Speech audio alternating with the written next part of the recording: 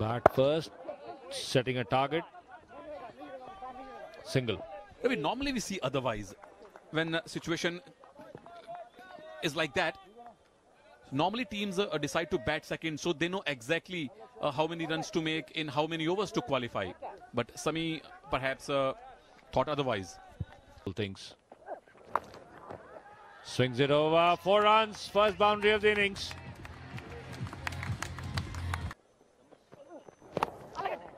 This time edge past the third man fielder. Can't stop it. Four runs.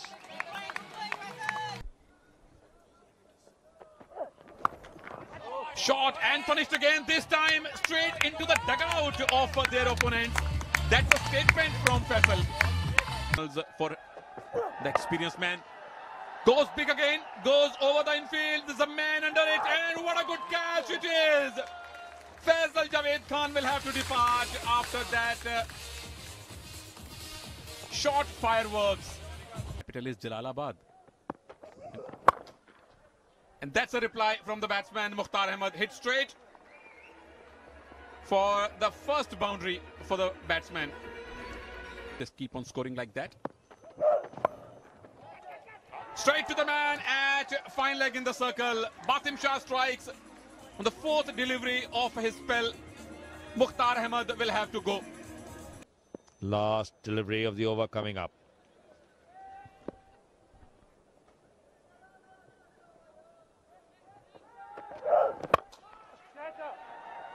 A fielder is coming under the ball and will take it. Two wickets in his first over for Batin Shah. What a start from the man from Afghanistan. Power play done and dusted. 23 for 3 after 3 overs, Pearl Gladiators.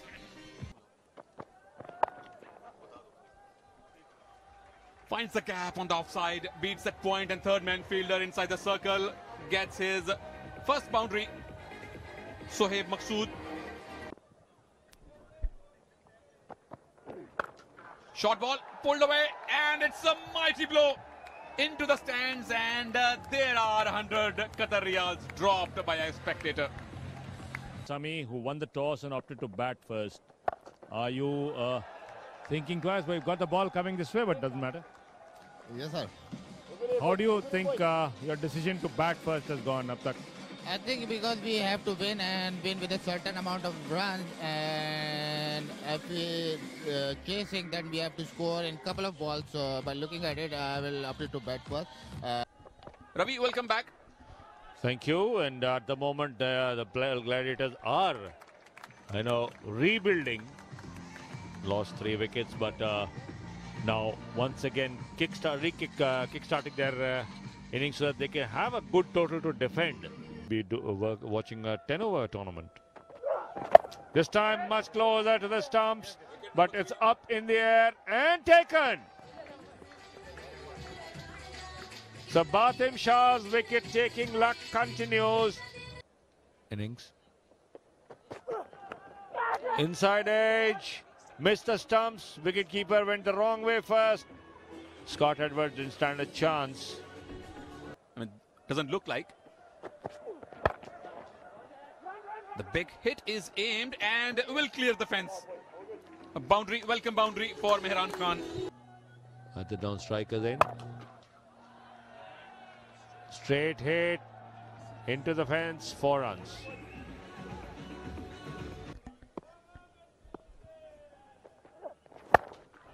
Hit straight again. Long on fielder will only be a spectator. This is a most welcome boundary for the Gladiators. Nine gone, 84 for four. The lesser runs he gives, better for him as a batsman. That's not timed too well. Yes, Scott. Caught in the deep. Sikandar Raza opens his account in wickets section. Required margin. Swing away. Get six runs. Fifth, six of the innings. This time it is Mehran Khan joining the party. Faisal Javed. Again down the track, last delivery of the innings will bring a single. Going for the second one. Direct hit, is it? So TV umpire will come into action now. should be out. But more importantly, what does TV umpire think? Well, our opinion doesn't matter. It's his that matters. Now the bails are well in the air. Bat still on the line. Single Really? or double? That is the crucial question. It is out. Yes, just one run on the last ball and a run out. So 93 for 5 after 10 overs of their quota. Pearl Gladiators. How they batted today. Maqsood, the top scorer, with 36 runs of 24 balls. Faisal Javed opened the innings with a couple of boundaries and a six. Ilyas could not open the count. Sadiq with nine. Mehran Khan, the last man to get out with 19. Sami, the captain, not out at one. The bowlers, uh, Batin Shah, the pick of the bowlers, 3 for 14 for him. Bowled a handful of wides, but nonetheless picked up 3 wickets. Raja Amir and Sikandar Raza also picking up a wicket each. Kayan Budika was uh, tad expensive, but uh, didn't really matter in the end. Satvir Singh also giving away 19 runs. So Pearl Gladiators now have scored 93 for 5 and Heat Stormers need to get 94 to win the match and book a place in the semi-finals. Sami. Whoa! Dream delivery to start with. Pitching on off and middle and then curving away. Sikandar Raza had absolutely no clue about that. Brilliant, brilliant start. Once again, almost a replay of the previous ball. The man behind the stumps, Faisal Javed Khan, is also looking at the bowler in surprise. Look at that. Pitching on, off and middle, curving away. Mm, bat needed another coat of varnish. That's about it. In the air, and Sami finally gets his man. Good catch from Adnan Ilyas. Gladiators captain strikes in the first over. That's how you do it. Finds the gap on the offside. Takes the aerial route. Gets his first boundary. First boundary of this innings as well. Time clipped away. Man getting under it. Mohammad Sami it is. And oh! Spilled it. He knows how important that catch was for his team's cause. Time connecting much better is uh, Imraz Rafi. Gets four more for his team.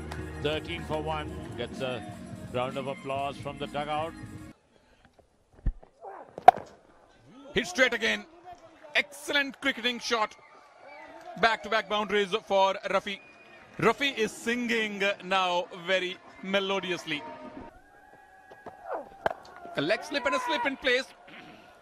But the fielder will take it. Wicket number two for Muhammad Sami. Well, that is called uh, turning on the heat to the Heat Stormers.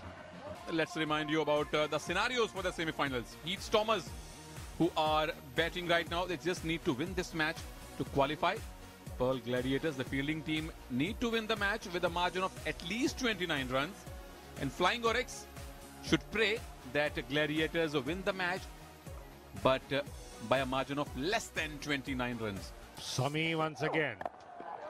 This time pitching it short and past the mid-off fielder. Pearl Gladiators can ill afford such uh, generosity. Pushed away. Oh, this could have been dangerous. Single given. Three overs gone. Power play done. 25 for two at the end of three overs.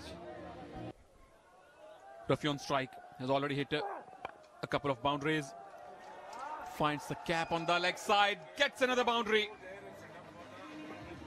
that for us like we are facing desert riders and it's gonna be it's gonna be a good match both teams like they are perfect to play and they have good sides both on Well, So Ravi Khan Singh goes for an interview and a wicket falls once again.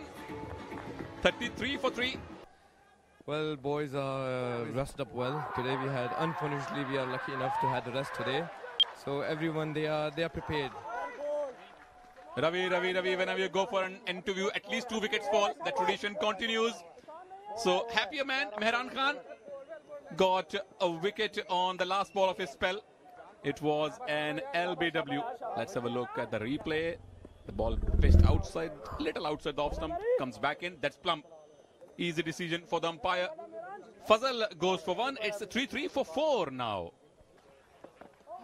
down the leg side of the pad. Confusion and a direct hit. So Scott Edwards will depart. Run out with of there you see the throw from the keeper. That's Faisal Javed Khan has played enough marbles in his uh, as a kid. has played plenty of cricket as well. He's 44 years of age. Scott Edwards uh, departs for a duck. It's 34 for 5. and try and hit over the top on the offside. There you see, shot made and into the stands. Unfortunately, nobody there to take the catch. Still struggling. Ball in. Satve trying to hit across the line. All of a sudden, Pearl Gladiators are that target of 94 is not looking that small. They just need to win by 29 runs. Looked very, very tough. But now, when the six wickets are down, it's looking very much in their reach. Satvir Singh departs at 7. It's 42 for 6. Mohammad Nadeem. Yes, that's wicket number 7. Pearl Gladiators. Well, they need to restrict Stormers under 64 runs, which means 20 runs from here on will say tata bye bye to Pearl Gladiators, but they only need three wickets now. What a performance from them! Didn't have a clue where the ball was, and Faisal Javed Khan did not waste any time. Talal stepped out, gone for two, 44 for seven Heat Stormers. And they've got another 20 runs to do it. Will be defended. Back up, back up, back up. Just a single. Overdone, six gone, 45 for seven. They make six, more than 64 runs and even lose the match. Flying Oryx will go to the go to the semis. It's high in the air. Taken by the wicketkeeper. Faisal Javed Khan is the star. He has hurt himself, but hurt the Heat Stormers more with that brilliant catch. Caught it, but while landing seems to have jarred his shoulder.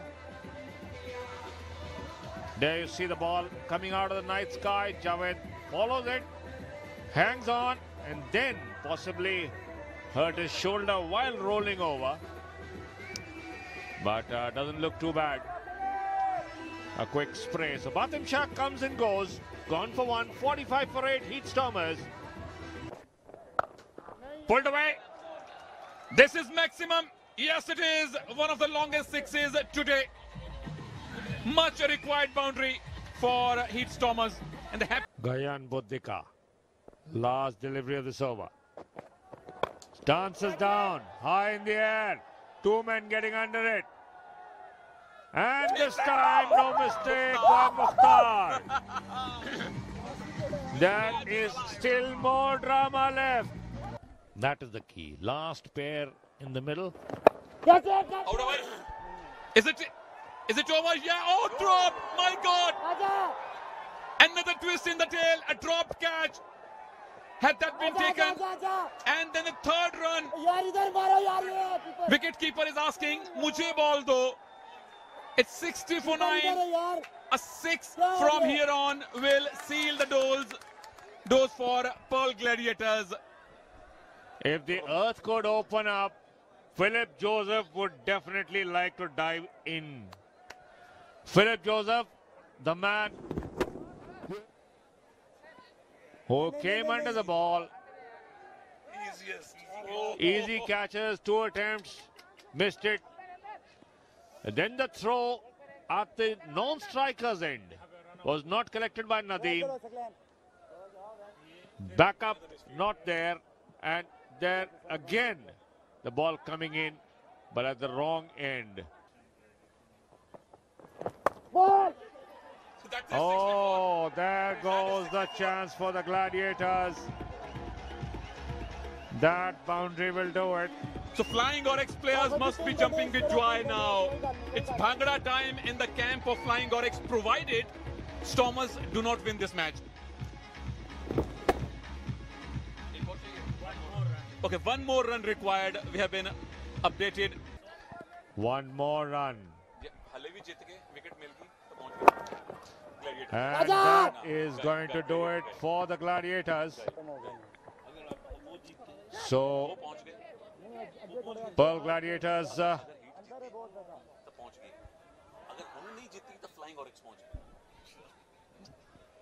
So Flying Oryx have uh, started unpacking their bags and uh, cleaning their bats. Absolutely, Ravi. Because 29 runs are gettable, but very, very tough for the last pair of 13 deliveries.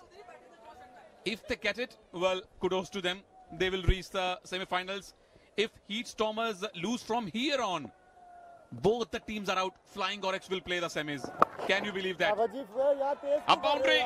Stormers are still in the hunt. Pot of the semi-finals. Hit straight into the stands. Stormers are still very much alive in the game. A couple of more sixes and it's very much alive. Oh, it's over! It is over for the Heat Stormers. It is over for the Pearl Gladiators, and it is Flying Oryx. The team that lost today will play tomorrow in the semi-finals. Can you believe that? Gladiators have won the game by 15 runs. So Flying Oryx reach the semi-finals.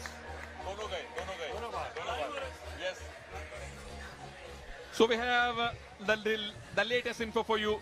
Flying Oryx will play Swift Gallopers in the second semi-finals. Can you believe that? Can you believe this suspense, this drama? Gladiators won the game, but it is not good enough to take them to the semi-finals.